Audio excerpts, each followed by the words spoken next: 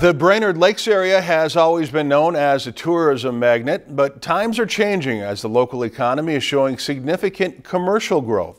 Three years ago, the Brainerd Lakes Area Economic Development Corporation launched the Tech Ready initiative to market this area as an excellent place for tech companies to do business. Our Taylor Archer has more on their greatest success story. Ascensus, founded in Brainerd in 1975, is the largest independent retirement and college savings services provider in the country. Ascensus is essentially works with financial organizations, employers, and financial advisors to provide future growth in consumer savings.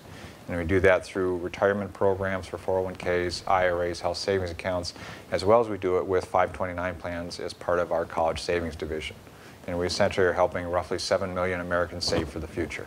The Tech Ready initiative has helped the company grow into 1,600 employees, a third of who work in Brainerd to help serve its customer base, and that includes 8,000 financial organizations and 40,000 employers.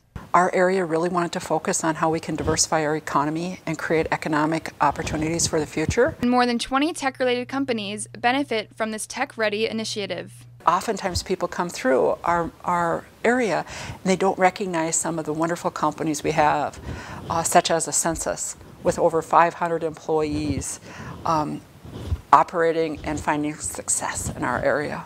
The Brainerd Lakes Area Economic Development hopes to impact more companies like Ascensus with this initiative. In Brainerd, Taylor Archer, Lakeland News. If you've enjoyed this segment of Lakeland News, please consider making a tax-deductible contribution to Lakeland Public Television.